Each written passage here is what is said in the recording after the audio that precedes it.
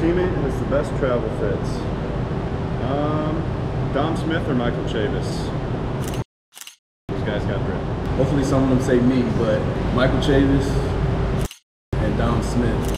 Which teammate has the best travel fits? Not saying myself. I'm gonna go CJ. CJ's clean cut and everything like that. I'm gonna go CJ. He's young, he's cute, he's doing it. Go CJ Abrams. Oh, CJ actually been stepping his game up lately too. Which teammate has the best travel fits, me?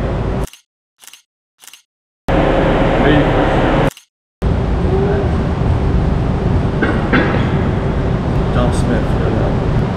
Dominus me? Dom Smith. Dominic Smith. I go Dom. Do I need to say anything?